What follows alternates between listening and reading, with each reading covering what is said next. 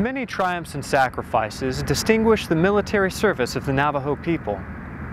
Perhaps most famous is the story of the Navajo Code Talkers. During World War II, these men ciphered thousands of battlefield messages, saving countless lives and helping end the war. In this interview, Lance Corporal Devin Bidtah, a field radio operator here at Regimental Combat Team 2, speaks about his grandfather, Leroy Johns, a Navajo code talker during the island hopping campaign in the Pacific. Field radio operator, Navajo code talker, and he was in the Marine Corps also. Uh, he was a PFC. Uh, Leroy Johns Sr. was his name. And I don't remember him too much, he was very small. But um, from what my my uh, uncles and aunts and siblings tell me, you know, he was different after he came back.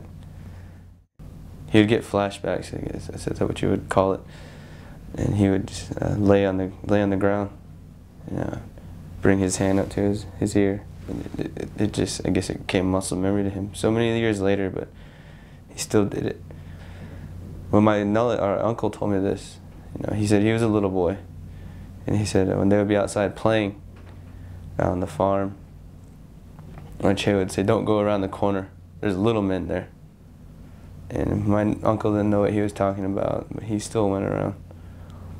And he also, he said that a lot. Going through what he went through, I, I can't imagine. And trying to just come back and be yourself again. And that's, that's as much as they told me.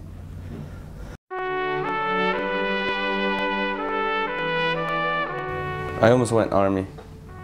And you know, one day I was digging around in uh, my grandma's house.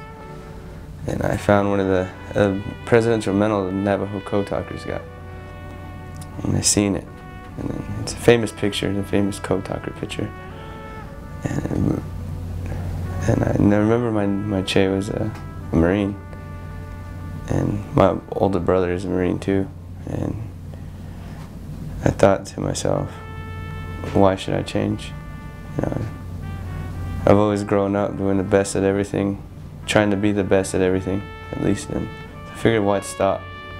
So I joined. So I decided to join the Marines. It's a, it's an honor, and you know I always try to do my best because uh,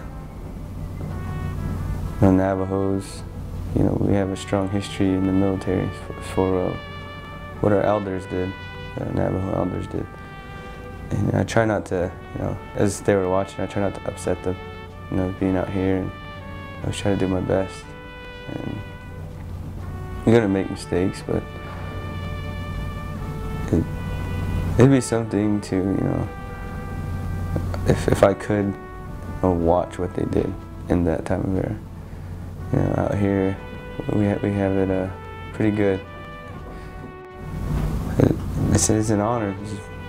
It's, I can't really say anything. It's, it's just it feels good, you know, knowing, knowing that my Che did something good for our people, uh, his name, and our, our family.